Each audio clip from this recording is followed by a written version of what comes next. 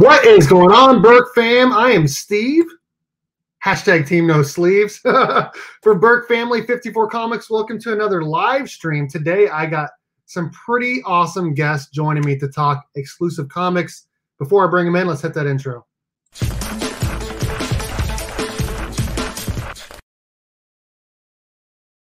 All right, first guest I'm going to bring in is one of the most amazing people. They're both amazing uh, in the comic book community. We got Brian from Simpleman's Comics with 19,000 subscribers. What's up, man?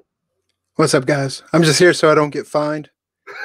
I'm kidding. Great to be here as always. It's my second time being on your channel, and it, it, I'm still nervous about it. But yeah, great community. Always love coming on your channel, and like I said, through this YouTube stuff, we've become great friends online as well. Absolutely. Absolutely. Thank you, Brian, for joining us. And then we got John from the 616, one of the most awesome dudes that I've met. What's up, man? How you doing? Hey, what's happening, guys? How you doing? Dude, we are doing well. We are doing well. We're going to be talking exclusive comic books, just comic books in general, and just hanging out, having a good time. We got some people up in the chat. I just want to say hi to them really quickly before we get started. Uh, the Isaiah, what's up, man? The Lost Kid, how's it going? Karate Kevin, one of my good friends, he's got a pretty big channel as well. Slim Comics and more, how's it going? Uh, DJ Linx, what's up, Dan? How you doing, man? Uh, Robert, Flash Six Seven Ninety Two, how's it going, brother? He's uh, one of the people that's ordered from you before. Um, Legion of Comics, what's up, man? Uh, he's also ordered from uh, the 616 before. Free Key Low E, what's up? Uh, Austin LeMay, how's it going, man? Uh, tell me why the ad I just watched was an Ace Hardware ad. uh, my parents own an Ace Hardware, uh, two of them actually, and I used to work there. And there's actually a commercial on my channel, so that's why. Ace is the place. Yeah, there we go. There we go. There we go. Brian and John. Oh, and Berk. Yes. uh, dude, yeah, for sure, for sure. Uh, okay, so we're gonna be talking exclusive comic books. I appreciate everyone for joining us. I know there's like 10 or 12 people live right now, but I appreciate everyone for hanging out. And I do appreciate my uh, channel members.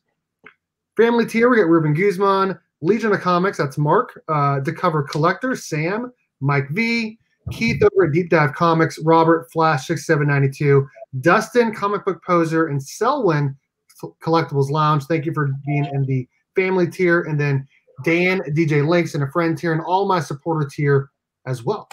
All right. You guys ready to talk some comic books and exclusives? Yeah, definitely. All right, cool. Let me pull up my questions here really quick and we get started. Do you guys want have anything you guys want to say real quick off the top about uh you know your YouTube channel and your online store before we get started? I just want to say, John, you look really nice tonight. Thanks. It's the lighting. My, I got my wife to do the lighting before we. and, and John does look well. John, sorry, we're not rocking Team No Sleeves, but I do love the Disney shirt. Oh yeah, so uh, so Great. yeah, right. This is from 2019. We went to Disney World, and uh, my wife had shirts made, and on the back, of course, you know, hers said Queen, and our daughter said Princess. So you know that I am the king. So wore that last year. That was a good time. He, has uh, got, he's got sleeveless Disney shirts my big ass when we went my whole family had shirts that had pizza slices on them with mickey the pepperoni was in shapes of mickey's. Nice nice. Uh, everyone hey what's up? Dust till dog how's it going? Hey that's my wife. That's my wife. Oh that's your that's your wife? Oh yeah, that's right. Yeah what's up wifey of uh, the 616 comics? How's it going? Uh zora's tigers team no sleeves that's what's up. Okay yeah. So, uh, yeah, like I said, I'm going to give you guys just a minute or two to talk about your YouTube channel and your online store. So, Brian, uh, you want to start with your YouTube channel and kind of how you guys got together with the 616? Sure. So, I have a small comic book YouTube channel similar to Steve's or Berk Family 54. And uh, we like to talk comic books. We have a couple weekly shows we talk about top 10 back issues that aren't the hot 10. We'd like to talk about books that are on our own personal hunt list that we look for that still we think have value. We offer comic book market trends. We give you three up trends, three down trends. We have a, a weekly new comic book day show, which we call the Bolo Show. And then, of course, we wrap the week up with uh, a last call show, which is books that we like for final order cutoff, books that are hitting final order cutoff the, the following Monday. And how how did John and I become friends? Well, John started out as a Patreon supporter for Simpleman's comics, and we started talking. And at first, it was just like he, he was asking about getting into the variant game, and we started working and partnering on some of those variants together. And then John just kind of took it and it's like, screw you guys, give me the ball and ran with it. And he's done a phenomenal job. He's got more projects than I could ever dream about or want want to dream about, but he's mm-hmm. killing it right now with those exclusive variants. So as you can see, most of those books now are on the 616 comics. At this time, they're they're solely being sold there. We still have a few left on Simpleman's Comics as well. But if you're looking for those exclusives, make sure you guys go to this 616comics.com. That's where John's selling them. We do do a job of promoting them as well, and we're always happy to do so because John's a fantastic guy. So I definitely stand behind him. Dude, what an intro hype man that Brian just was. to talk about your online website. John, you want to go ahead and talk a little bit more about what people could see possibly in your uh, website before we get started? Yeah, sure. I mean, well, first, um, you know, thanks for for having me on. I really appreciate it, and uh, thanks, Brian. Brian's helped me out tremendously. He's taught me so much uh, about comics, about the industry. We have um, so what we have coming up is we're going to have a Black Weekend sale, not just a Black Friday sale. So we're going to be offering uh, very deep discounts on our uh, our store exclusives. Not on everything on the website, but we uh, we feel like uh, we can give the the biggest discounts on our own exclusives. So we want to go uh, as deep as possible with that. But um, but yeah, I just I do want to thank uh, Brian for um, everything. We met years ago online, still haven't met in person yet. We um, we had a lot of discussions prior to doing anything together, and um, once we brought Jack in, the three of us work great together, and uh, we are able to produce some really incredible books. I'm looking forward to discussing, um, you know, tonight possibly how some of those came together. Dude, that is awesome. That is awesome. And John went ahead and made a coupon. Do you want to talk about that now or later? Yeah, no, sure. Uh, coupon will be good tonight uh, in honor of uh, Team No Sleeves. That's not the coupon code, but the coupon code is Berk54, Berk54, no space and that's good for 25% off anything on the website, uh, the 616comics.com now through midnight tonight. So a couple hours flash sale in honor of uh, Steve's tattooless arms over there. dude, I don't have the ink, man. Dude, I'll tell you what, some of those tattoos are pretty freaking sick for sure. It's all Star Wars, all Star Wars stuff. All Star Wars stuff. Dude. So Mandalorian is just killing me right now. Was, I love that show my son who's 18 um, so his experience is different than mine right like i started i literally the opening weekend may 1977 my dad when i was almost four years old took me to see star wars and no lie i've been addicted ever since um, if the ink didn't tell the story then you know my history with star wars tells the story but i got to say also you know my, my son said uh, and i feel the same way this is the best star wars it's just the best star wars it reminds me so much of the original trilogy. Um, it pays respect to the prequels. Um, and I'm glad there's not much of the sequel trilogy at all. so wasn't a big fan of that. But um, but yeah, man, Mando's just been phenomenal. Phenomenal. I don't have a lot of time to watch TV anymore. Brian's always giving me good recommendations on text. And I feel bad because I, you know, I'm just crazy swamped with the business and I love it. It's good. It's just my free time is at such a premium right now. Crazy. Dude, I, I can't even imagine. I, I was gonna we're gonna talk about how busy you are here shortly for sure. So um you talked a little bit about Star Wars as a kid, and I I've talked to Brian a little bit about how he got into comic books. When did you first started like collecting comic books or reading them um, as a kid, John?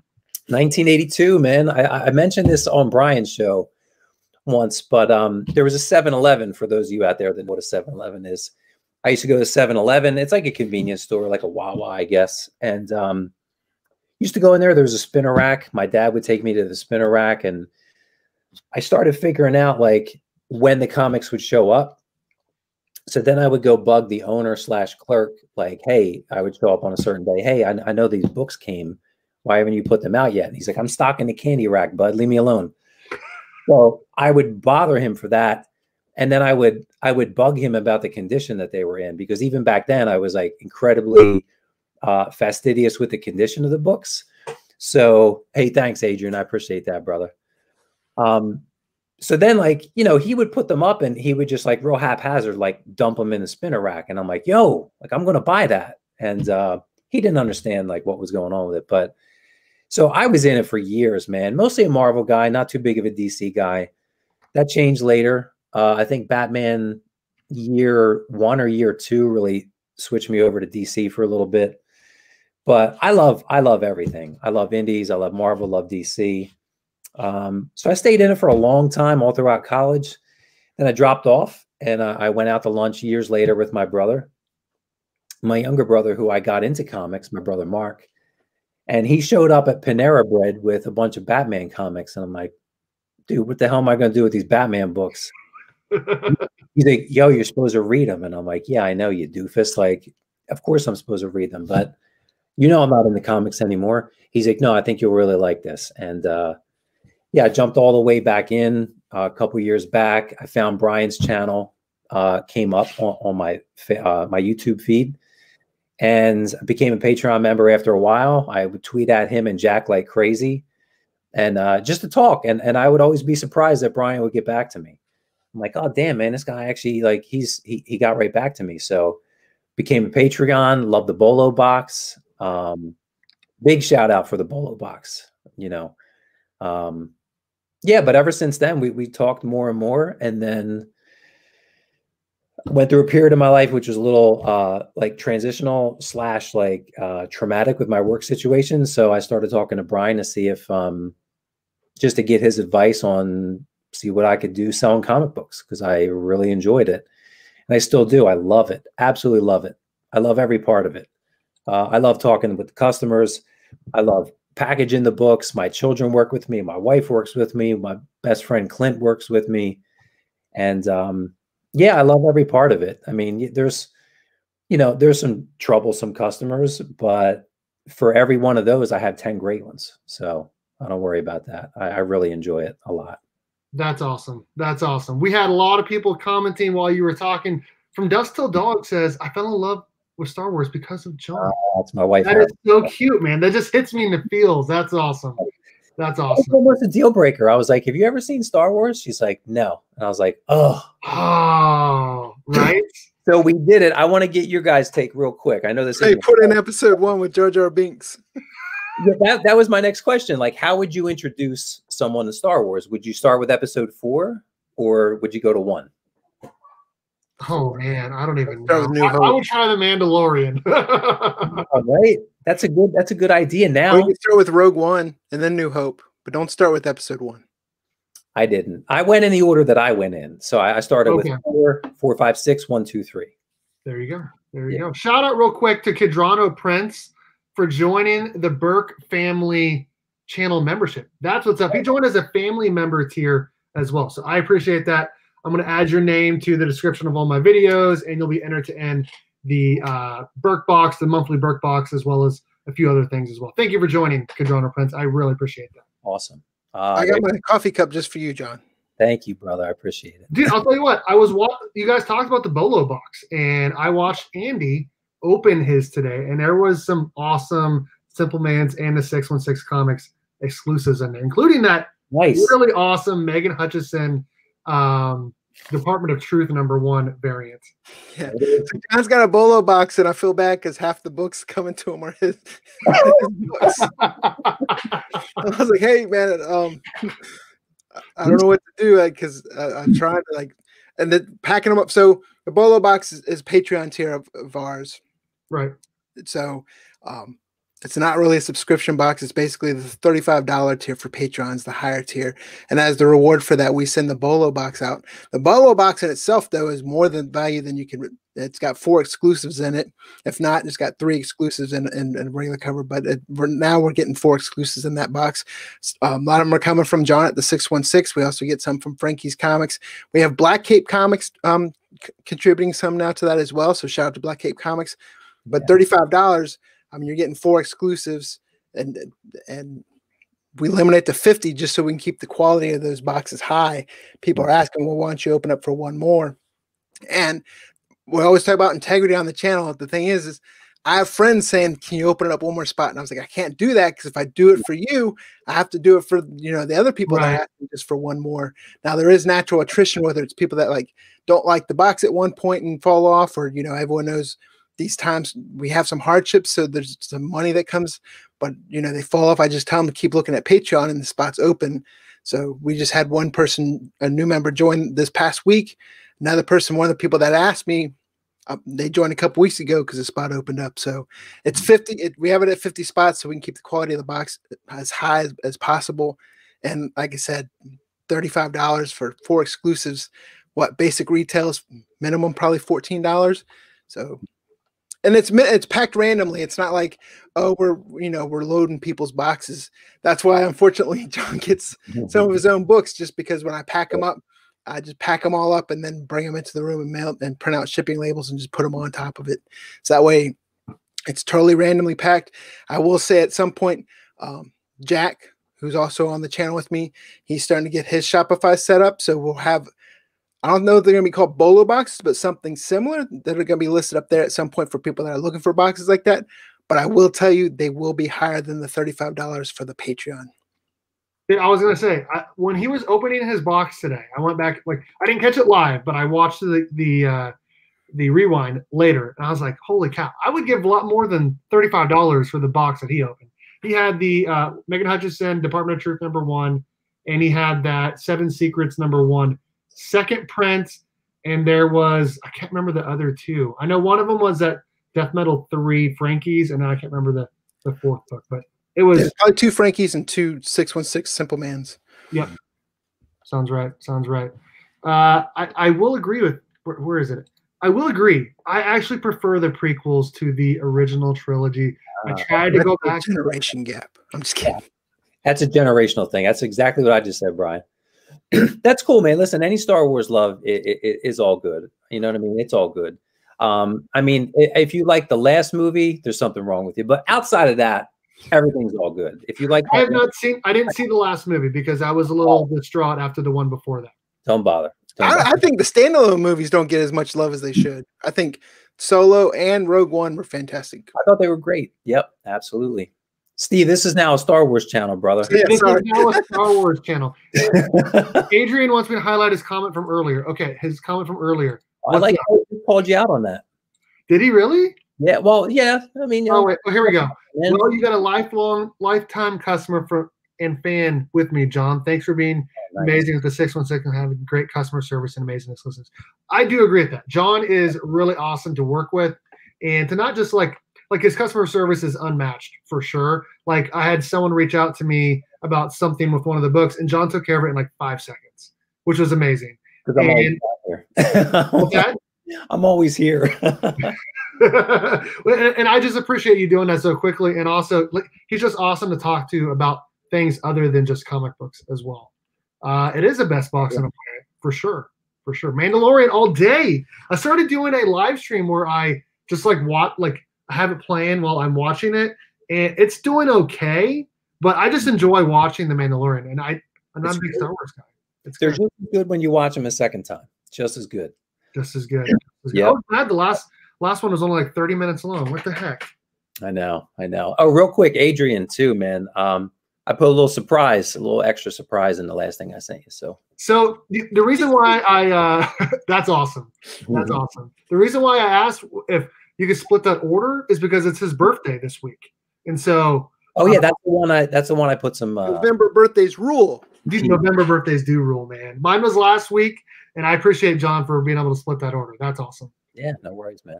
There we go. There we go. Okay. All right. So when did the 616 comics start? And also, who are some of your favorite cover artists that you've worked with so far? Uh, well, I'll go in reverse. So uh, Megan Hutchison by far, hands down. Uh, Hal Laren is a close second, I would say. Um, I don't know. They're probably tied now that I think of it.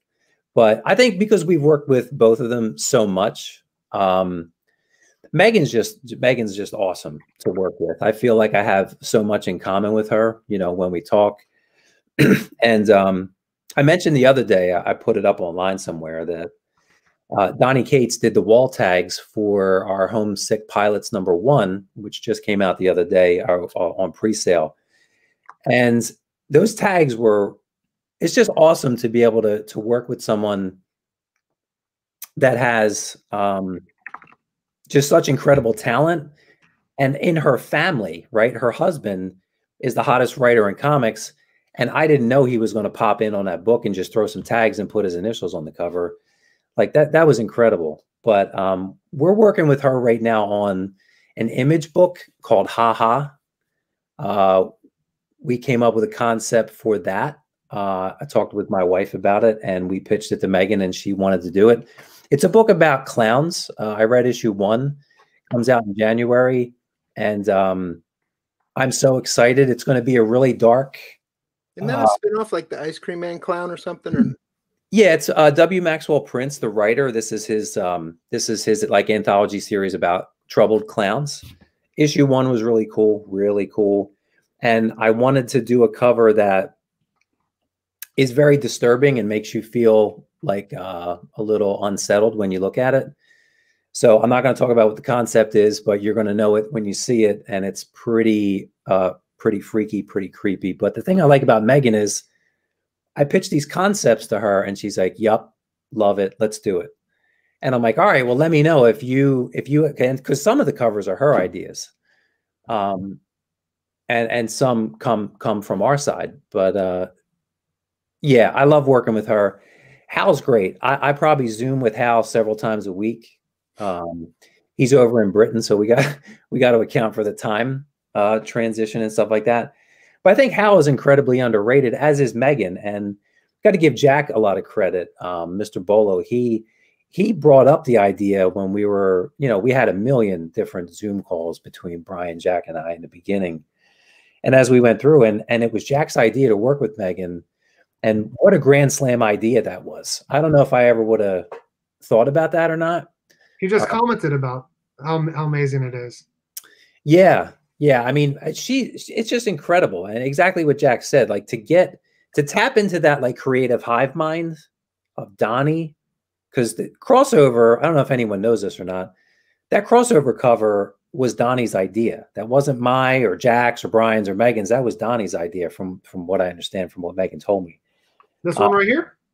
Yeah, Donny wanted to do a, an homage of that classic X Men Days of Future Past uh, cover, and uh, she's like, Hey, what do you think about this? I only did one sketch because it's Donny's book and he wants to do this cover. And I was like, Sure, because she normally will give us three concepts and then we pick and then we discuss.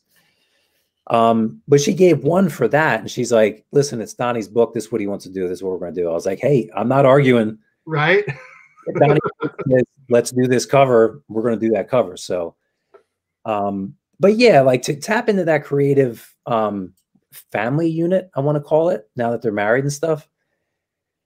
Man, you can't beat that. And her, she's so underrated. She's just so underrated. He's got range. He's got serious. Not for much longer.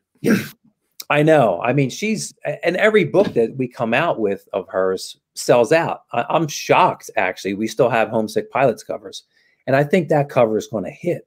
I mean, if you watch Brian and Jack's show, um, what was that, Brian? The last call show, you guys highlighted that cover like a yeah, week ago. Yeah, that last call show. First of all, if you're not watching the last call, um, something's wrong with you. You got to get on watching that show. It's the best. It's the OG last call show, and it's the best last call show. So you got to get on watching that if you don't already. Um, but that homesick pilots, that's going to hit. I read the first three issues.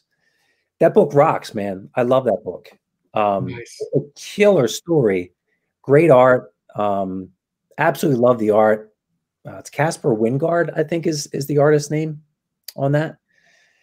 Um, but yeah, I would say I absolutely love working with Hal. Love working with Megan. Jonboy Meyers has been great.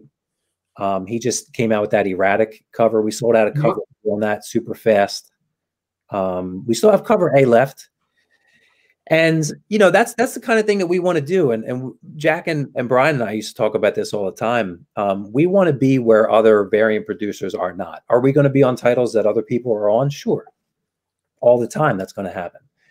But like with erratic we were able to get the only exclusive variant on the planet for that book. Um, so we're we're constantly trying to look for opportunities to get on projects that other people might overlook. Um, and we have a couple of those coming up. Nice. Um, I can't really talk about, but, but yeah, we're excited. That's awesome. I had a, we had a question here from Adrian. How do you select the artists you work with on exclusives, and how do you get connected with them? Sure. You want to talk about that, Brian? Or you want me to jump in on that? I'll, I'll throw a little bit in there how we started, and then you can add add. Um, so it all, I think it also differs by publisher. You know, with, with Boom is is different than IDW, than, than Image and Dynamite. Um, Boom, we had calls and we we just kind of gave some artists, and Boom will reach out for the artists on your on your behalf. They like to do the editor team, where I believe Image and IDW and Dynamite, you go and seek out your own artists and you you cover your artist cover artist fees separately, and where Boom likes to handle everything for you and you pay everything through Boom. Now, the easiest way it seems to be that John's done most of the reaching out and contacting, and some of the best ways to do it, whether you believe it or not, is DM him on Instagram, right, John? Yeah, that's how I that's how I got with um with Hal. I saw Hal's art on Instagram and messaged him. I've been I've messaged a bunch of artists on Instagram, and strangely enough, um, some artists that are just phenomenal. I mean, just knocking it out of the park. I'll DM them and I'll say, "Hey, have you ever done an exclusive?" And they'll say, "No." Uh, are you interested in that? Uh, because it looks like you're just drawing superheroes constantly at a really high level. So, do you want to break into this industry? Yeah, I do. All right, would you be interested in this cover or that cover, or like what are you looking at, at doing? I'll pitch them a project or a concept. Um, sometimes I'll just say, "Hey, I'd just like to get you on a cover. I'll let you do what you want." And they like blow me off, and I'm like, "What was that all about? I don't understand what just happened there." And so I'll check back in with them, and um, I don't know, I don't know, but I give them a chance. I'm like trying to give them money and exposure, and I, I just don't know. But some of them, like Hal, Hal got right back to me, Hal Laren, and he was like, uh, "Yeah, sure, mate. You want to Zoom? Because he's from he's from Britain, so they say mate, I guess, over Right. there." So he's like, "Sure, mate. You want to Zoom?" And I'm like, "Yeah." He's like, "Are you free right now?" I was like, "Dude, I just DM'd you like five seconds ago." Um, yeah, I wanna do a little zoom, zoom, zoom. Yeah, I was like, hey, hey guys, uh, I got this guy Hal. You want to check out his Instagram? And and then we were like, yeah, man, let's let's rock and roll with this guy. So I think the first the first cover we did with him was Villainous number one. Uh, Yeah, which was like the first cover, but it was like one of the later books to come out. I do want to add also there's bigger artists or artists that there's some artists out there that have agents or reps. Mhm. They're a little bit more difficult to work through because you also got to go through their reps to get covers. That the DM isn't going to work through that way, and we we found that out as well, right? yeah, for sure. Um, yeah, it's it's been uh it's been a crazy process, but yeah, I, I'll just I go straight at people. That's always been my uh that's always been my mo. That's how I got married to my wife. I just kept kept going at her. It's how I met Brian. I was just relentless on Twitter and uh, on, on direct message. But yeah, I mean, I find that to be the best way. Say, hey, I mean, you know, if, if you want to see what we do, check out the website. Here's what we have going on. Here's the artists we work with. Um, but yeah, I haven't really. Um, Catherine Odette's been great to work with. Uh, she has a Vampirella: The Dark Powers number one set coming up for us. Uh, that that was also Jack's idea to reach out to her, and she kind of took a break for a little bit, but she's a phenomenal artist, absolutely phenomenal artist. So I can't wait to show everybody this Vampirella cover. I'm just I'm trying to work through some issues right now with ordering and the publisher and all that, and then we'll reveal that covers real soon. I The just hardest ordered one's a been to of sit on is those BRZRKR covers. Dude, there we go. There we go, Austin. That's what's up, man. Boom. And he's a big Star Wars guy too. Nice, nice. Huge star like he has a stormtrooper like thing he paid like twelve hundred bucks for in his room. Huge Oh, fan. So John, can you explain how the business got started? I think it can help inspire people, especially during this time. Sorry, uh, Brian, I didn't mean to cut you off there. I just want to make sure I highlighted that comment. I'm just here so I don't get fined. but yeah, so the business, um, I mean, I, I reached out to Brian before I even started the business to see if I should even do it. and uh, you know, I got to say, Brian, Brian was uh, inspirational. I mean, he gave me a lot of confidence to to keep going because I was just like selling books like on the side initially, and I was like, I really want to do this in a bigger way. What should I do? He's like, you got to do this, you got to do that, you got to get this set up, you got to get that set up. And I was like, oh, oh, okay. And I was like, all right, what what type of printer do I need? Like Brian gave me advice all the way down to like the minutia of, of the business. So, and it, it, helped out tremendously. But I was having uh I can't get I can't really get into this too much, but I had troubles in my work situation. I work for the government and uh that's kind of all I can say. I not, I'm not really allowed to talk about it. Uh, I could get, yeah, really in trouble for talking about what happened to me. Uh, as I can't even say what I am, but anyway, anyway, it just sucks not being able to talk about it. Once everything's over, I'll be able to talk about it. So I was afraid of getting fired, and I was like, I need um, a secondary source of income. Now, my wife and I own a dog training business, but she runs that, you know, 99% of the time. I'm mostly behind the scenes. I used to train as well. Um, then some work stuff happened, and then I started selling the comics. So I, I, really did it as like a backup plan, like almost like a plan B. And then I started rolling. I remember asking my wife one night, I was like, hey, I'm going to take a couple thousand dollars.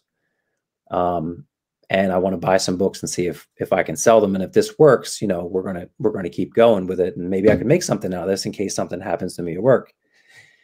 And then that was right around the time I was talking to Brian and um, made some really good moves. And I was like, we need to start like a legitimate LLC. We need to do a company. And that's what happened. And Brian helped me through a lot of that.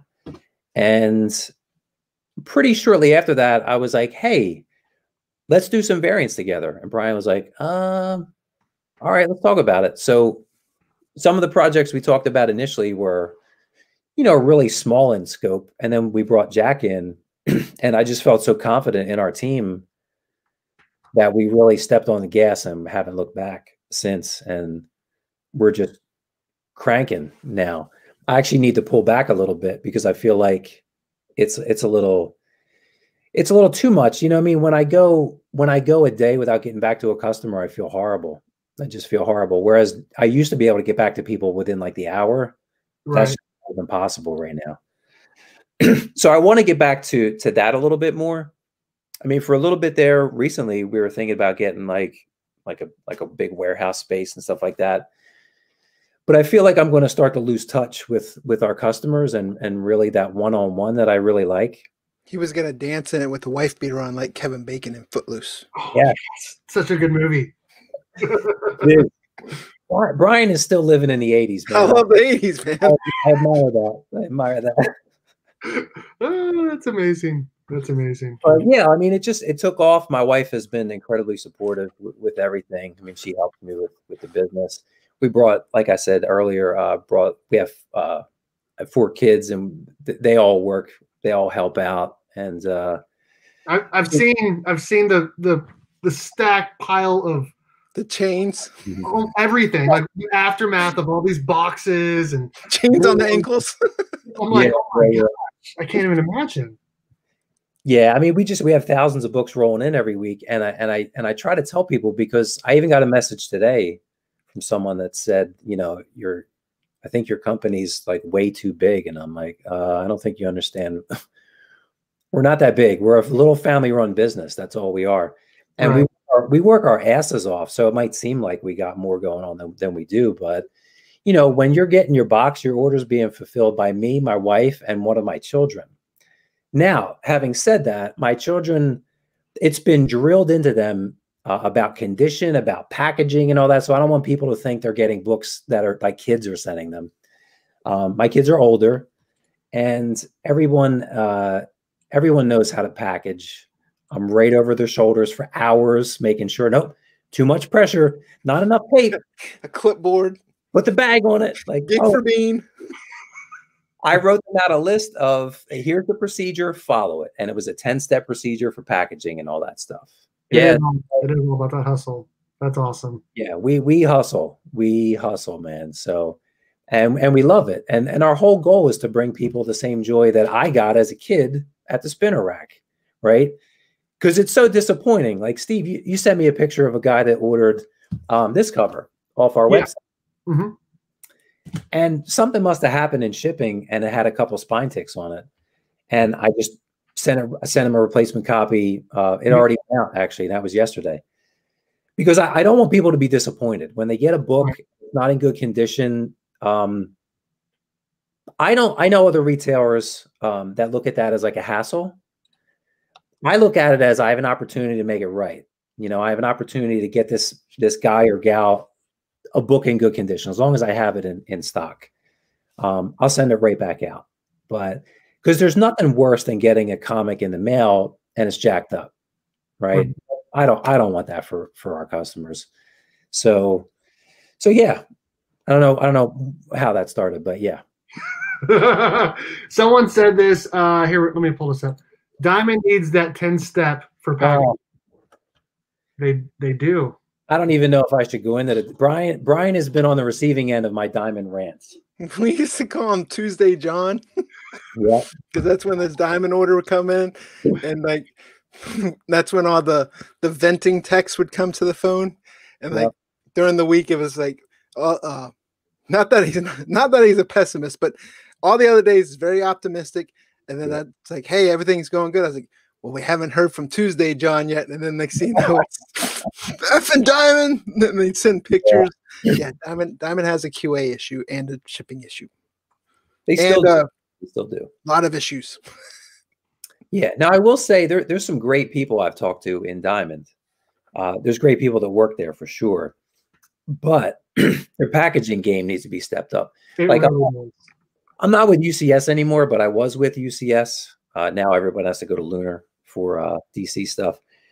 But I'll tell you, the damages on UCS packaging compared to Diamond, not even close. UCS was phenomenal. I know other retailers have had some issues and stuff, but UCS was great to deal with.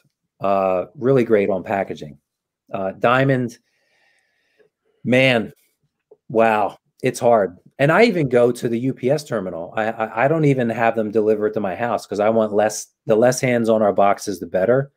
So my wife and I, we, you know, we'll be going tomorrow morning. We wake up early. We drive to the UPS terminal. We get all our books um, because other retailers told me that that will help cut down on damages. It hasn't, but um, supposedly it, it, it will. So that's what we're hoping for.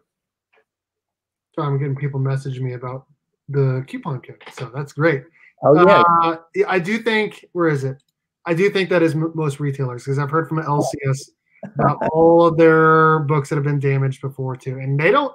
From what I understand, it. I mean, that's a whole nother thing. But some of them, like a lot of times, they don't even like reimburse you or send you like replacement copies. So that sucks. It depends. Like uh, we we had a big problem with our TMNT 110, uh, the one in ten Bates variant, which caught fire. Like we sold out, and so just so everybody knows, like we we we do like hold back. So we ordered 225 of those. I maybe put half of that up for sale. Sold through all of them, right? So sold 100 and some copies. Pre-sold, uh, and then none of them came in. Zero. I mean, none. Nothing came in.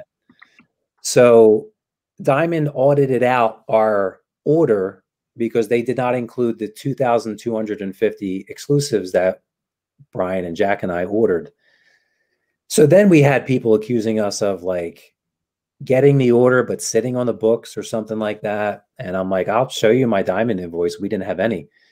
So talk to IDW, we talked to Diamond, and they said, We'll ship you 51. And I'm like, What about the other, you know, 175?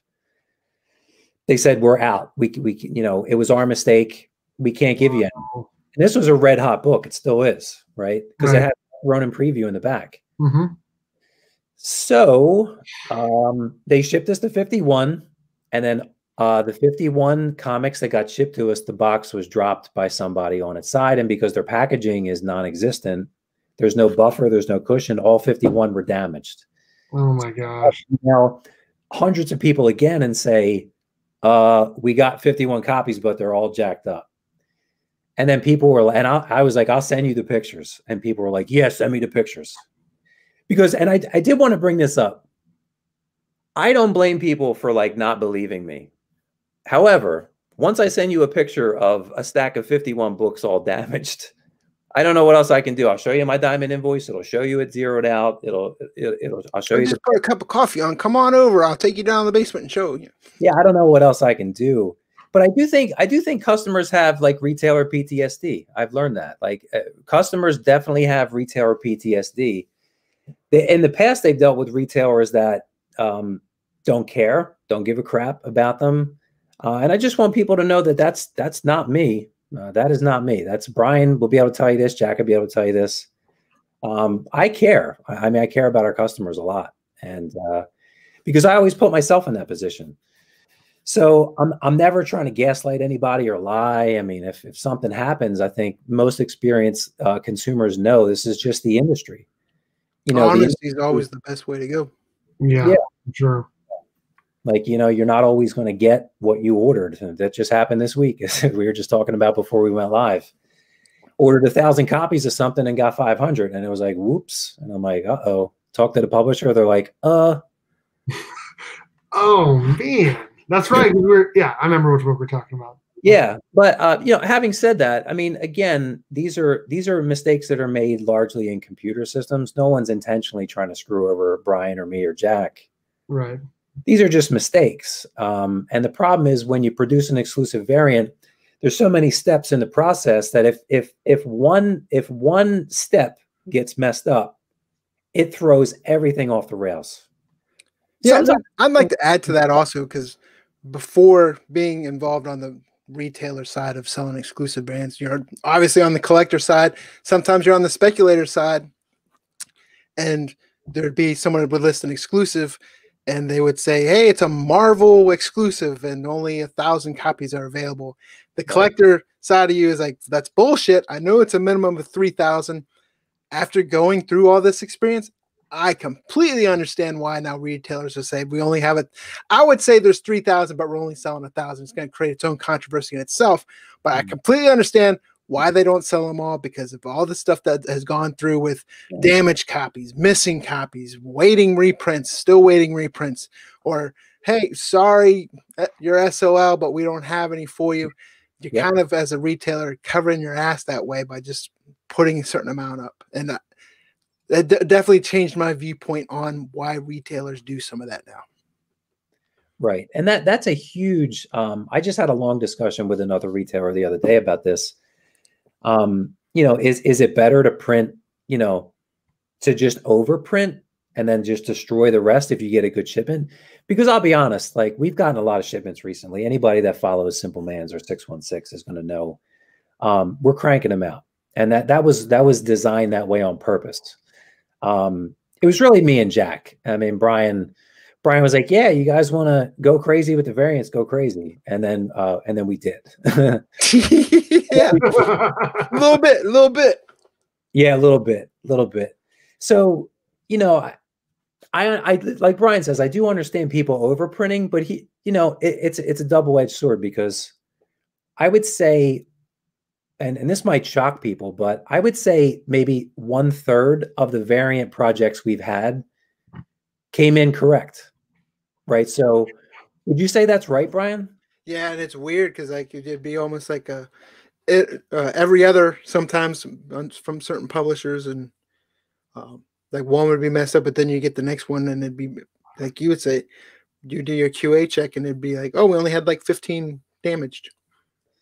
Yeah, I mean, I, I, yeah, it's just it's just incredible. It's just absolutely incredible to me. Like, and you don't know that as a you know on the other side as a consumer you don't know all the all the stuff that goes into getting these out the door in good condition all the odds are against you with this from the publisher to the printer to the delivery uh, to the people processing the orders it's definitely uh, not treated like a collectible through the process not at all and that, that i think that's the problem but I, I would say one third of our projects came in acceptable to really good condition, um, and came in in the, in the right numbers. Like I, I received a, I received a shipment the other day, and I got 50 out of 250 books that we ordered, and that was it. And then I and then I said, well, what happened to the other 200? And uh, It took two weeks to figure out what happened to the other 200. And then the publisher told me, FedEx destroyed your second box. And I said, What does that even mean? They said, FedEx destroyed it. And I said, But I bought I bought those books. And they said, Well, they damaged it so bad they destroyed it. And I said, What does that mean? They lit it on fire? They Right. a furnace? Like what? They destroyed our book. FedEx set up a newsstand. What does that mean? And then I said, Hey, can can you uh well can you reprint the other 200? And they said no. And I was like, Well, now what am I supposed to do? I don't understand what I'm supposed to do now. Like there's nobody to, to tell you. So I I talked to about it and I was like, like what what am I supposed to do? Drive to the publisher and like b- bang on the door? Uh, I, I don't know. So basically I begged them. I, I called them up and I said, Hey, I'll, I'll buy you filet mignon. I'll do whatever. I even offered to pay for part of the new reprints uh, just to get them. I said, I, I don't have them. I have customers that need them. Uh, this has been going on for, you know, a couple months. And so I think that's the stuff that I never would have known would happen going into it. It's just craziness sometimes. Wow. Very laissez faire sometimes. It's like, meh. Yeah. And I'm like, yo, this is my life. Like, I know you're a huge publishing company and I'm a little baby, you know, family business over here, but I'm, I'm still a customer. Like, what, what's going on here? So, yeah, I don't know. It's crazy. It's really crazy. We got some comments that I wanted to uh, highlight real quick, and then I got a few more questions for you guys. Sure. Uh, okay. We appreciate hearing from retailers like this. You will gain a loyal following, being so transparent and having such great prices. I was able to find variants at the 616 that I didn't find other places. Boom. Nice. Very nice. Uh, things happen. I only get mad when certain retailers say, "Hey, look what I found in the basement." You guys keep. it. Yeah. And you know, like Ryan said, I understand I understand, you know, to an Well, extent. It's also one thing if they find it in the basement, but if they find them and they sell them, I think that you know, sell it for you as the retailer, sell it for the price. Don't you know? Hey, look what I Um, found in the basement. Now you're selling at second secondary market level. You can't do that. No, you can't do that. So um, you know, so like our process, um, you know, just to, to be more transparent, um, what I learned pretty quickly is, you know, if you print 500, do not sell 500, right? you have to hold some back. And when I have people messaging me, like people were messaging me like crazy for the ice cream man variant. Uh, oh yeah. 21 hey do you have any more? And i'm very i'm very upfront about it. I have to wait till the shipment comes in. We sold through most of them yeah but i might have some more to offer. And then when i do put them up I, i'm going to put up put it up you know maybe as i'll send some to cgc maybe we'll put a couple up but they're definitely going to still be for cover price and i'll announce it ahead of time.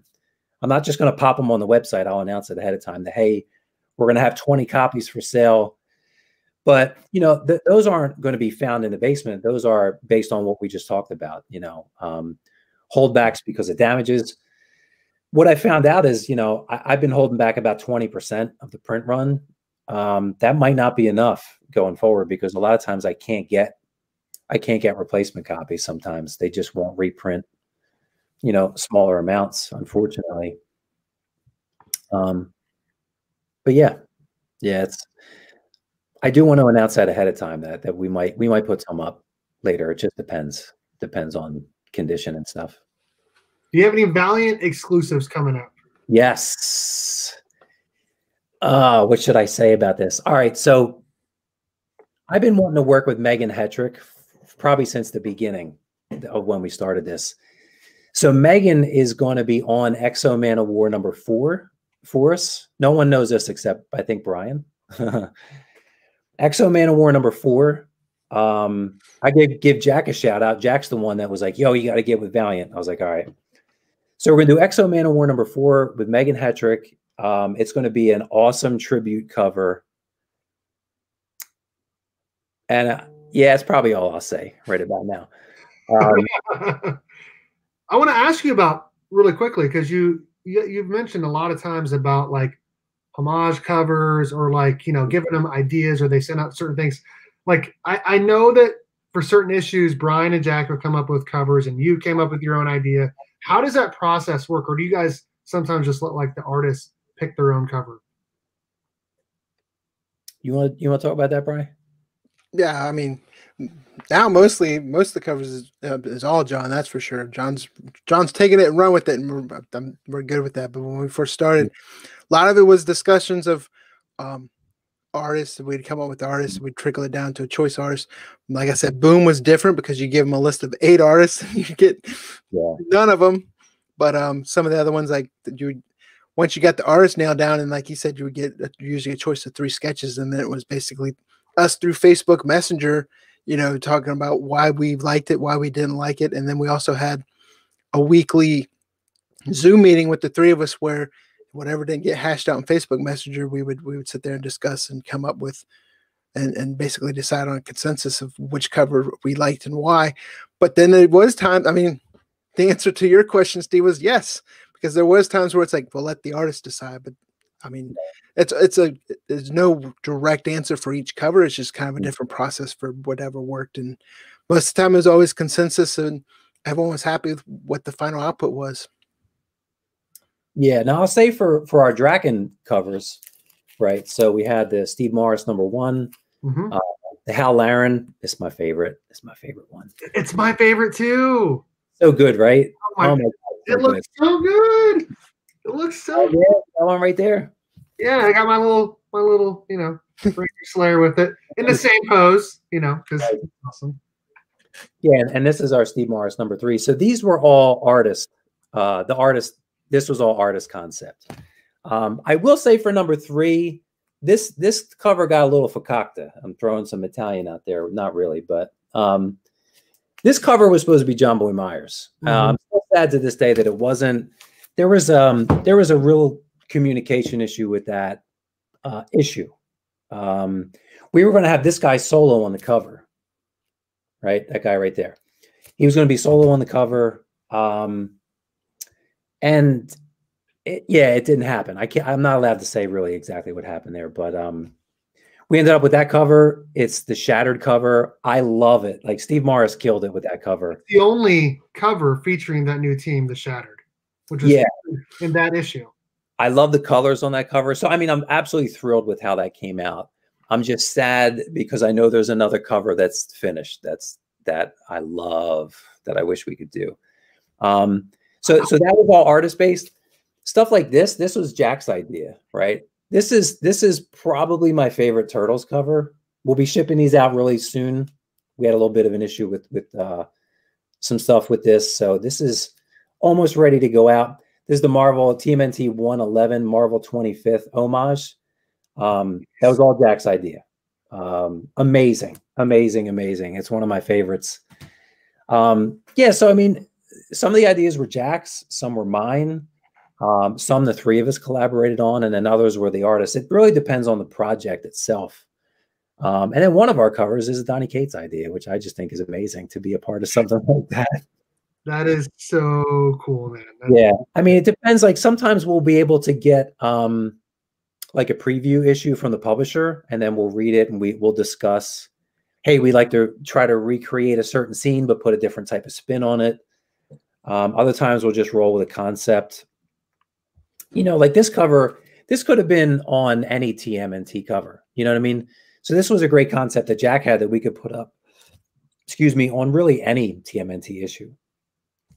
Uh, the 112, the girl power, that was Jack's Oh. idea. Uh, where it's a homage to the number one. Um, That red scale is so cool. oh man, it, it came out great, right? So from from concept to delivery by Hal, man, just another home run, absolute home run. I, I will say I talked to IDW um, three hours ago now on the phone, and I asked them because um, their exclusive program is on hold right now. They're going through a little bit of a transition, so I tried to get in on a bunch of different projects, and and um, they're not accepting exclusives right now. So Wow. We had a tremendous last Ronin number two that got shot down. by Hal. Is that the one you sent me? Yeah, it, the Dark. The Dark Knight one. That thing was incredible. Yeah, it was the last Ronin on like a telephone, telephone wire, you know, um, in the rain, and then with the lightning behind them. It just, I sent that to Brian too because I thought that was a done deal. And then and then they shot it down because they said we're not doing homage covers. Um, and then and then I talked to a friend of mine who did an homage to uh, for the same issue to Spider-Man number one, and it made it through. And I was like, "Yo, man, why'd they give you the homage?" And they shot mine down. They said mine got shot down because it was an homage, but you got your homage. So What? yeah, I mean, maybe it was just the Batman thing. Um, hey, what's going on? Hey, he, hey, he super chatted, right? He, he super chatted me. Yeah, that's what's up. I tried to super chat and it said I wasn't allowed to because I don't know. Your credit's no good. I was trying. I wanted to be the first guest on your show to super chat while I was on the show. Oh, that would have been cool. You've already super chatted me so many times, though. I appreciate that, John. I really do. But um, but yeah, like the, the the best of I wanted to say the funnest, right? That's not a word, but the funnest part of of the whole thing is working with other people to come up with the concept and um, you know, bouncing stuff off of Brian or the artist. Like that's the best part of of the whole thing.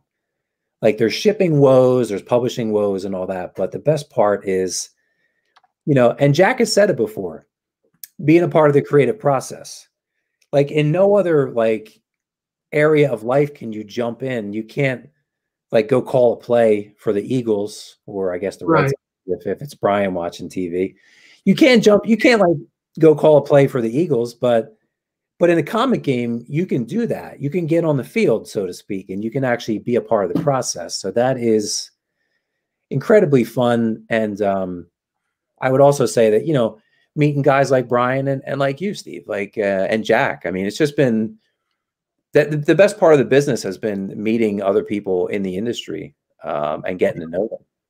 for sure. And, and you guys have helped hook me up with Boom. I get the books free, like uh, er, advanced copies early, which is really awesome to be able to like read those and then do spoiler free reviews on my channel. That's pretty cool. Uh, Comic Burrito, how's it going, man? How's it going? Uh, I got like a few more questions, and I I know we've already been on for almost an hour, and I appreciate you guys for joining me. I'm going to try not to take up too much of your guys' time. Uh, I have a couple more questions. Um, let's see here. How many orders would you say that your your little business puts out weekly? with a rough estimate. Number of orders. Yeah, I, I just did the math on this earlier. Um, anywhere between, depending on the week, th- three to five hundred a week, um, which is a lot because it's you know there's a handful of us here, and, Right. and I'm the only full time one. So yeah, it's a lot. Like there's no, like no lie. I've, I've I've chatted Brian up late, late at night. You know, I've gone well past midnight some nights. Uh, today, I- you reply with two words. yeah, yeah. F variance. that sounds like something Brian would say. That is what Brian says. Yeah. That's usually my reply to F variants. yeah, Brian. I, I feel bad. Brian, poor Brian, man. Jeez, I've hit him with so many. You know, because who else am I going to talk to after a And I don't mind. I'm usually just venting it first. Yeah, definitely. Like I like I, I reach out to Brian usually first when I have an issue. I'm like, yo, man, you believe the shit that happened with this or that happened with that? And he, that, that's his reply. F variance. Well, usually I'm venting for him because I was like, man, I, like I knew if I was in that situation, I, I would just be highly frustrated. Will you have any more Last Ronin Jabroni tribute covers come back in stock? Uh CGC. Yeah, we're gonna have a couple CGC. We had we had some damages uh on that, and I didn't get fully, you know, I didn't get filled all the way back in by IDW, unfortunately. There it is. Yeah. There Yeah. it is. Beautiful. And they all come with that COA, man. I love that. They're gorgeous. Hal did such a great job. Now that that cover was a product of like Jack came up with the, the basic concept for that Jabroni tribute. Um, and the, the concept, the way it came out initially, was we wanted to to show like the fallen brothers in the background somehow, and then me and him kind of talked it out, hashed it out, gave it to Hal. He killed it, and then the three of us talked about uh, putting you know a little something for for Edwin on there as well. Um, but that was kind of after the fact because some people were asking us, uh, like, did you intentionally want to do a Jabroni tribute cover? And the answer is is no. Like that concept was developed, and then we thought it would be a nice touch at the end to add in the RIP. hmm Uh, and then we were trying to figure out how to do it because initially we wanted to have him on like street level in the street and maybe have it like graffitied on a wall or like on on the sidewalk or something. And then we talked about how, and then we we talked about having a concept of like them like watching over him like in the clouds. That's kind of like the overall concept, right?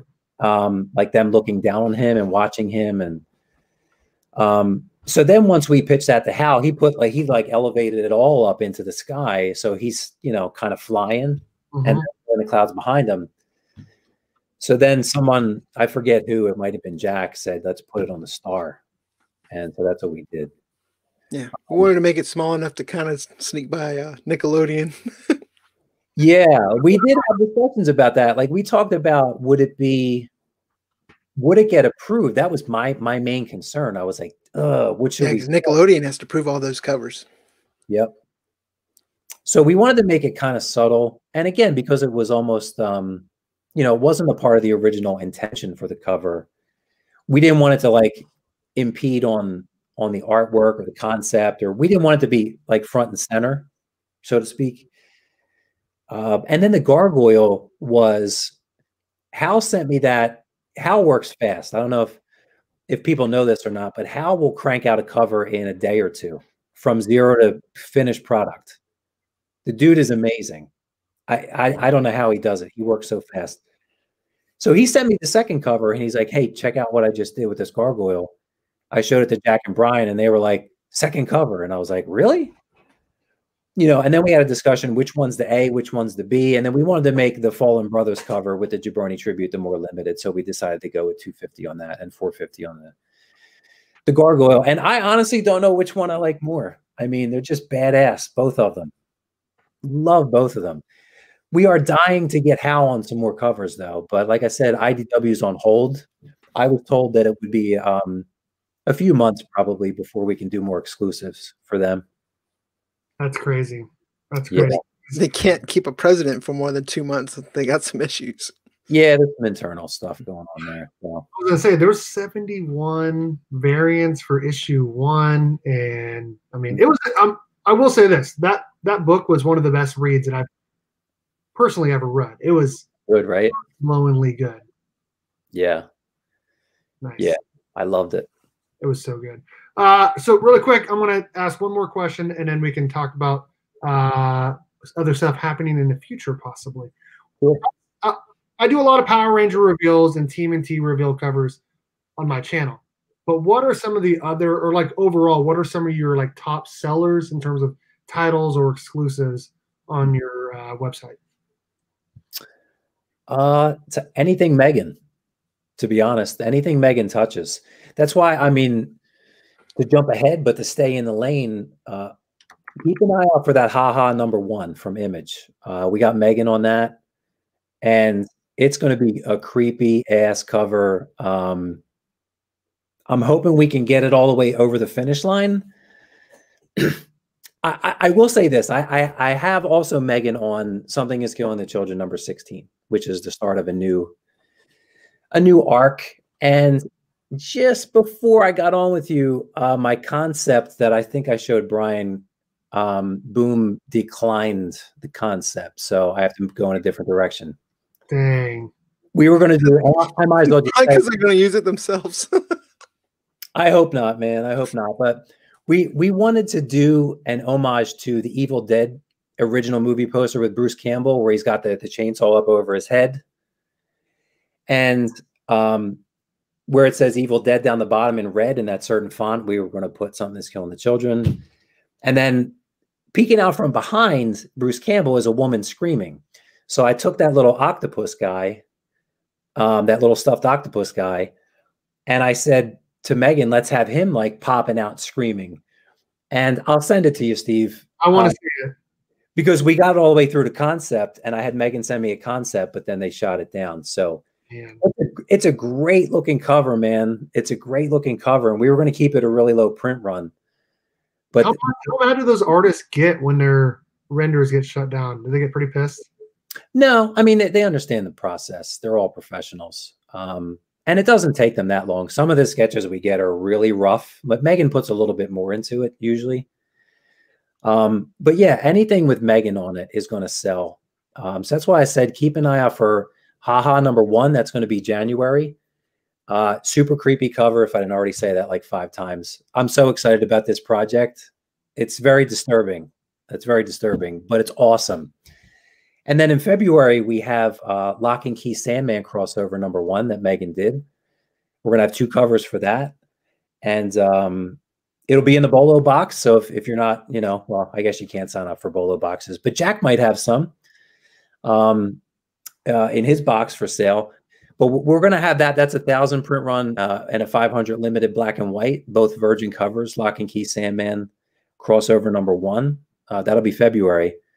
Uh, but yeah, I just anything Megan is just on fire hot. I will say, out of our Draken covers, the Hal Laren sold like lightning. Um, Hal, we still have some of those left. Uh, the the last Ronins, obviously by Hal, just sold out pretty fast too. I remember when when that went up for sale, I was like, I got to get on there within the first thirty minutes to make sure I get myself a copy. So I was thankful, yeah. thankful, like I'm happy that I was able to get myself, and I ordered one for Adrian too. So I was happy to get one. Awesome. Yeah, yeah, and also Jonboy John Boy Myers too. Uh, his stuff sells like crazy. His We Only Find Them When They're Dead. I might have one set left of the whole set, maybe. Oh, are those the ones with uh like there was like four different covers that Two Bros announced, and there, like one of them I want to say was like a grayscale, but with that red tint coming out of the eye. Yeah, there's three cover set. Um, his erratic sold out, like the set sold out, and we're gonna have him on some bigger projects coming up uh, in the new year. We're, we're gonna we're gonna be doing Marvel, DC stuff. Uh, we're working with Greg Horn on some Marvel stuff. Oh, he's a cool dude. For January, we have him on um, Gwenom versus Carnage. And if I could tell a quick story, is that cool about Black Cat number one? Of course. I, I don't want to take up too much of your time. So however long you want to hang out, that's cool with me. So. so I don't know if anybody remembers Greg did a Black Cat number one, I don't know, two years ago. And it was it was Black Cat with a white background. She was on her knees, kind of sideways, like hugging a Peter Porker plush. So the Black Cat number one coming out in January. I think it's I think it's January. Maybe it's later this month. But it's a King in Black crossover. And so for the cover B, I pitched that we do like a reverse image of his Black Cat number one from the previous Black Cat number one, but but she's holding uh, Porkgrinder, which is like the venomized plush or the venomized uh, Peter Porker, and he was all down to do it. And th- again, this is something on the inside that people from outside aren't going to really ever hear about. But there's so many crazy things that can go wrong. So he got hit with a hurricane like a week or two ago, and uh, he got flooded out. So he he he couldn't make the deadline for Black Cat to finish the art for Black Cat number one. So we had to scrap the whole project. So that was going to be our first Marvel project. Was that Black Cat with oh, with Yeah. So now we're going to do um, Gwenom versus Carnage number one, okay. and uh, probably a two cover set. And we're working through the concept with him now. Um, I pitched a couple things my favorite pitch didn't get accepted, but again, when you're working with the artist, you have to, you know, there's give and take. Like I might think that this idea is great, they might think it's complete crap, and they want to go in a different direction. And you got to know when to say, okay, like he's the artist. I'm not. I'm not an artist, right? I'm. I'm a government employee that sells comics, basically. At the end of the day, you know, I'm just. I'm a. I'm a fan. Um, you know, first and foremost, I'm not the artist, so you know, I trust his judgment on that. Um, but yeah, going into next year, we're going to be working with um, uh, Kael Ngu, um, Derrick Chew, Greg Horn. Like we have some Jonboy Meyers again on on bigger stuff. So we have a nice, and you know, we have Hal, we have Megan. Um, yeah, I mean, we have a nice, a nice stable of uh, artists that we're working with on on the regular. Uh, we have Josh Burns coming up. I know Brian, you you like Josh Burns, right? Love Josh Burns. We have him on a Red Sonja uh, coming up. Uh, super excited to get in touch with him. Like whenever an artist that I love gets back to me, I get all giddy. You know, I mean, more John Royle. I do, yeah, or or uh, we do because you're going to have some of it too. but yeah, Vampirella 15 and 16 are both John Royle. Um, and then I think I don't think we made 17, but for 18, uh, yeah, we have somebody lined up for 18 that I can't say yet. But I want to answer Adrian's question right now. uh, this one's going to be super easy. And uh, John, you know the answer for that.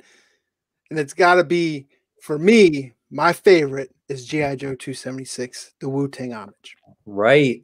Oh, Yeah. That's why Yeah. as soon as I said that's a no brainer. Like there's a lot that oh, was I'm, cool. I'm super excited on. And, and like John mentioned, 95% of these variants, I probably take the least amount of credit on because I was there on the calls. I helped put them up on the site and stuff like that. But the creative out there, I was there to offer, like, I was a tiebreaker on votes, I guess you could say. But Yeah. most of the creative process was John and Jack. And then I was just there to listen. But the Wu Tang one, when Jack started bringing up, this is right when the, the Marvel hip hop covers started taking off again. Brought this came up with Jack, and no doubt we tried it on what? We tried it on um, Turtles. MNT. Yeah, we tried it on 110. Nickelodeon said, Hasbro said, my favorite. nice. Yeah, we had it for uh for this cover. This was supposed to be TMNT 112. So this this was approved for 112 and then 111 got hung up. So I was emailing them, emailing them, emailing them, hey, what's going on with this? What's going on? They're like, we're waiting to hear back from Nickelodeon. And then they shot it down. They didn't give a reason why, but um, but then we submitted it through IDW for GI Joe. We made a real quick pivot on that. Um, and you know, i we still have some of those left, um, but that sold like crazy too. And again, just to give you an insight on how it works. So Brian and Jack came up with the concept. I was like, yeah, okay. Like I'm a big, I'm I'm a heavy metal guy. Like I'm way, way. I Can we do a Lamb of God? Lamb of God, Slayer. You know, I like old school '80s '80s metal, Black Sabbath. 18 and life to go. yeah. I mean, like, I uh I'm not huge into like hip hop stuff. That's more my wife and and Brian and Jack. But when they brought that up, I was like, oh man, that's pretty cool. So we did Hal did the one concept, right? The the main cover. And then the B cover, he just sent me. He's like, hey, check out what I did with this, John. I just put the CD case on the desk and I put a bunch of grenades and bullets and stuff around it. And I looks like it's a little overexposed with the lighting. And I was like, whoa, man, that's hot. I showed it to Jack and Brian. They loved it. And I was like, all right, two covers. We're doing two covers. So yeah, and that's that that was a risky one, right? Like I I feel like certain projects, like I was super nervous about erratic, super nervous. You know, when we go live, you know, I'm just gonna let everybody know I get really nervous. I'm like, oh man, I wonder if people are gonna like this because I I love just about every cover we do, you know, Right. but I, I feel like they're my my children in a way, so I feel very biased. So I, I love I love all of them. They're like like my little babies, you know. But I don't know if anyone else is going to like it. Right. And when we went live on GI Joe, I'm like, man, I on 276, I'm like, I have no idea. This could completely bomb, or it could do great, and it did great. I mean, we still have some some sets left, but man, that sold. That cover really sold. So awesome, yeah, I didn't realize there were so many uh, GI Joe fans, but I, I mean, I guess big Power Rangers fans. Everyone's fans of something. Well, the good thing about that co- that cover is it crosses over to multiple niches, right? You can get over to the Wu Tang hip hop side, you get over to the GI Joe side, get over to just the nostalgia in general. Maybe comic book pe- people that aren't really comic readers, but they like GI Joe and they like Wu Tang. So True. you gotta protect your neck. yeah. And I also feel like that there's people that um, maybe collected all the hip hop variants, and I Mhm. feel like they felt like they needed to get this one too. That makes sense. And we have another concept that that might be in the works too for another hip hop homage. So oh, we were getting ready to pull the trigger on it. I'm not going to say what it is. Um, but IDW, like I said, kind of shut down production. Hmm. And Brian, uh, Erica, my wife, also told me to let you and Jack know that um, when we do the next one, she's in on it. She's in on on concept uh, as far as what cover we do and all that type of stuff. My wife, The next one is another favorite. yep, yeah. So she wants to get more involved on a creative on that one. that's awesome. That's Yeah. awesome. Nice. So we'll see. We'll see. Cool. Well, I appreciate For uh, Menudo. Menudo. Nobody knows who that is, Brian. Uh, that concept is mine. It's mine. See? You're still watching. Don't Yeah. can't wait for that, dude. Nice. That's hilarious. That's awesome. Well, I do appreciate Brian and John for hanging out with me tonight. This was like a lot of fun just talking with you guys and having everyone else on here. Again, uh, I'm going to try to pull this up really quick. Uh, use the code Berk54 to get 25% off your order tonight at the 616comics.com. And uh, they have some really cool stuff um, Power Rangers, DC, Marvel, TMNT, a lot of really cool stuff. G.I. Joe, obviously. So, Yeah, GI Joe. We have uh tomorrow night is um might wait tomorrow night. What's tonight? Monday, Mhm. Wednesday night. We have uh, Mighty Morphin number two by Diego Galindo. Um, that's a shared exclusive with uh with Joelzar. So once we started doing Power Ranger stuff, I ended up talking to Luis uh, or Jose, depending on uh, one's his middle name, one's his first name. right. Um, but we ended up talking to Luis over at Joel's R uh, about some projects, and so we we have some really exciting shared exclusives coming up with him for awesome. Mighty Morphin three, four, and five. I was talking to him today about it, Wow. and Oh, wait do you see the artist we got for number three?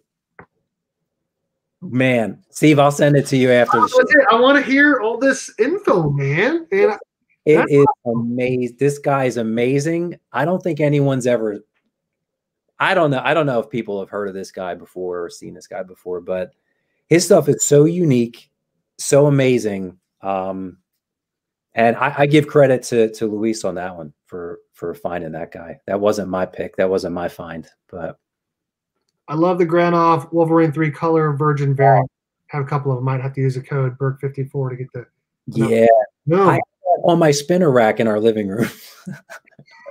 Remember, that's currently upstairs. My wife can back me up on this. That's on the spinner rack right now. is it Rob? Is it Rob Liefeld? No, no, no. Not Rob Liefeld. That's Jack. That would be Jack's pick. Jack would pick Rob Liefeld for, for something. Yeah, we, we might we might be we'll, we'll, we'll figure something out maybe sometime. Oh, we're doing this. We're definitely doing this. We'll, we'll we will figure it out hopefully soon. Yeah. We already talked about that actually. We have we have we have talked about that. Well, thank you again, uh, Brian and John. That was a lot of fun um, hanging out with you guys and chit chatting and having your wife comment. That was pretty cool, and uh, it was just fun. So I appreciate you guys for joining me. Thank and you. uh, thank you again to I need to I need to update this now. I got another member on here. I, I always say this at the end of all my live streams. Thank you to my channel members. We got Ruben Guzman, Legion of Comics, DaCoverCollector, Mike V, Deep Dive Comics, Flash 6792, Comic Proposer, Collectibles Lounge, and Kidrano Prince, who just joined today. Thank you to the friends here, DJ Linx, and my supporters here as well. Thank you guys for joining me. I had a great time. Yeah, Yeah. thanks for having us. Yeah, absolutely. Uh, and as always, go cats, cowabunga, and it's morphin time.